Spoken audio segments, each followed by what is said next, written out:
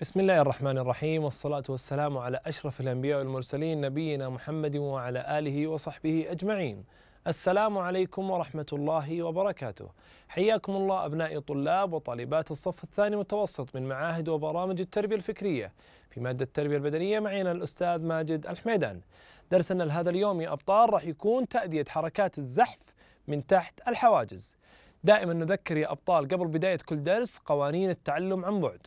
قوانينها كثيرة أكيد. يجب أهمها أننا نلتزم بتحضير أدواتنا وكتبنا التي نحتاجها قبل بداية الدرس. ونستمع إلى الدرس من المعلم أو المعلمة وننصت بكل تركيز ونتابع الدرس حتى انتهاء الوقت المخصص. فوائد ممارسة النشاط الرياضي يا أبطال. لو قلت لكم الرياضة هل هي مرتبطة بالصحة؟ أكيد كلكم راح تجاوبون بنعم. والصحة مرتبطة بالرياضة. ممارسة الرياضة تحسن صحتك اللياقية القلبية التنفسية يعني ما تتعب أثناء ممارسة الرياضة. أيضا تحسن صحة عقلك ومزاجك تخليك سعيد ومبسوط. أيضا تظهر شكل جسمك بشكل جميل ومتناسق وتقيك بإذن الله من أمراض عدة كأمراض السمنة والسكري. كفانا الله وإياكم شرها وتخليك قادر على ممارسة جميع أعمالك اليومية خصوصا الرياضية. فوائد الرياضة لا حصر لها ولو يأتي منها فقط أنها تجعلك سعيد وتحافظ على صحتك لكفى يا بطل. طيب نوجه رسالة لأولياء الأمور الأفاضل نطلب منكم التواجد أثناء فترة البث لتوجيه الأبناء وإرشادهم. طيب يا أبطال قبل لا نبدأ نشاطنا الرياضي نتأكد أول شيء أن المكان آمن. مثل ما إحنا نشوف أنا الآن واقف في مكان آمن مساحة آمنة التهوية فيها جيدة لابس اللبس الرياضي المناسب كذا المكان أصبح آمن لممارسة النشاط البدني. لا نمارس أي نشاط خصوصا الرياضي إلا إذا تأكدنا أن المكان آمن لممارسة النشاط البدني. إذا توفر لديك المكان الآمن ولابس اللبس الرياضي على القدمين قف. أول تمرين معنا لهذا اليوم الجري الخفيف في المكان. جاهزين يا أبطال؟ مع بعض. تمرين جماعة ابتدي. واحد اثنين ثلاثة أربعة خمسة ستة سبعة ثمانية تسعة عشرة. واحد اثنين ثلاث أربع خمس ست سبع ثمان تسع عشر. يعطيكم العافية. أبطال انتهينا من التمرين الأول. ننتقل للتمرين الثاني. ثاني الجذع من ناحية اليسار أربع عدات وناحية اليمين أربع عدات. جاهزين يا أبطال؟ مع بعض. تمرين جماعة ابتدي. واحد اثنين ثلاث أربع يمين اثنين ثلاث أربع يسار اثنين ثلاث أربع يمين اثنين ثلاث أربع يسار اثنين ثلاث أربع. آخر مرة جماعة قف. يعطيكم العافية أبطال. أكيد دائما نذكر على عملية الشهيق والزفير بين كل تمرين وتمرين. لكن اليوم أبغى أحد الأبطال يعلمنا طريقة الشهيق والزفير. ها من يعلمنا يا أبطال؟ أبطال الشهيق وهو سحب الهواء بكل هدوء من الأنف والزفير هو خروج الهواء بكل هدوء من الفم. نسويها مع بعض يا أبطال.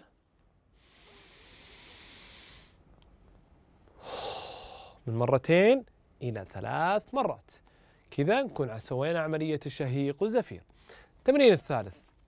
التمرين ومسماه تمرين ال squat وله أشكال عدة لكن التكنيك الصحيح له أو الطريقة الصحيحة له هو عدم فتح القدمين بشكل مبالغ فيه وعدم إقفالها بشكل كامل. تكون القدمين مفتوحة باتساع الكتفين واليدين امام مقدمة الجسم لحفظ التوازن والنزول ببطء بشكل كامل والصعود بشكل كامل. جاهزين يا أبطال؟ مع بعض. تمرين جماعة ابتدي. واحد اثنين ثلاثة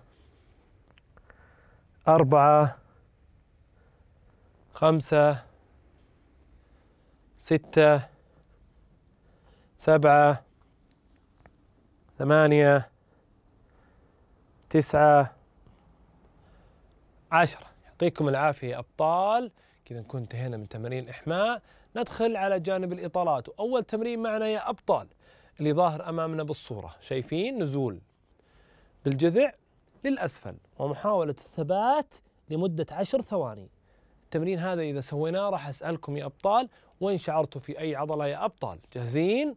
مع بعض نبدأ على القدم اليمنى. تمرين جماعة ابتدي. واحد اثنين ثلاثة أربعة خمسة ستة سبعة ثمانية تسعة عشرة القدم الأخرى يا أبطال واحد اثنين ثلاث أربع خمس ست سبع ثمان تسع عشر.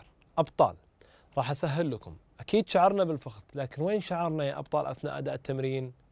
أبطال شعرنا بالمنطقة الخلفية للفخذ وهنا صار في إطالات للفخذ يا أبطال. الآن ننتقل لتمرين للعضلة الأمامية للفخذ يا أبطال. نقف بالشكل هذا يا أبطال نتكئ على جدار أو على جسم ثابت محاولة سحب القدم والشعور بالعضلة الأمامية للفخذ يا أبطال. جاهزين مع بعض؟ تمرين جماعة ابتدي. واحد اثنين ثلاثة أربعة خمسة ستة سبعة ثمانية تسعة عشرة. القدم الأخرى يا أبطال واحد اثنين ثلاث أربع خمس ست سبع ثمان تسع عشر. يعطيكم العافية أبطال. نذكر دائما بأهمية الرياضة لنا ولمن هم حولنا. ونذكر بأهمية ممارسة الرياضة وارتباطها بصحتنا وارتباطها أيضا بصحة عقلنا وصحتنا المزاجية يا أبطال. فلنمارس الرياضة ونجعلها جزء أساسي من يومنا لحفاظنا على صحتنا يا أبطال. خلونا نشوف درسنا لهذا اليوم مع بعض يا أبطال. كيف يتم الزحف الصحيح؟ هو تحريك الجسم للأمام من وضع الانبطاح على الأرض مع بقاء معظم الجزء الأمامي من الجسم ملاصقا للأرض والرأس على امتداد الجسم والنظر متجه للأمام. أي أن المهارة تكون بالانبطاح على الأرض يا أبطال وأكيد الانبطاح يكون بالشكل هذا. نشوف القدمين والبطن والصدر جميعها على الأرض والرأس فقط على استقامة الجسم ونظر للأمام.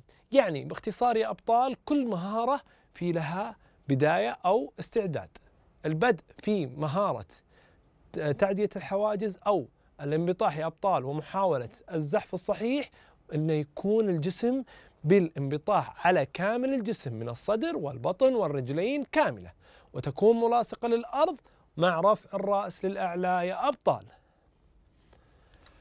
ويتم أداء الزحف بتزامن حركة الذراع مع حركة الرجل من نفس الجانب من الجسم وتشبه حركة الجسم الحركة الثعبانية أي تتحرك كما يتحرك الثعبان. لذلك يا أبطال لازم نعرف أول شيء خطوات الفنية. ذكرنا في الدروس الماضية للمشي أن يكون القدم اليمنى مع اليد اليسرى واليد اليسرى مع القدم اليمنى أي بالعكس ذكرنا أن اليد اليمنى تكون مع اليسار واليسار اليد اليسرى مع القدم اليمين.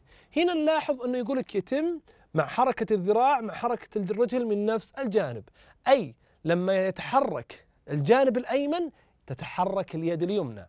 لذلك لازم نفرق في خطوات المهارات وخطواتها الفنية كيف يتحرك الجسم. هنا تتحرك اليد اليمين مع القدم اليمين واليد اليسار مع القدم اليسار. الخطوات الفنية تبدأ بحركة الذراع متبوعة بحركة الرجل.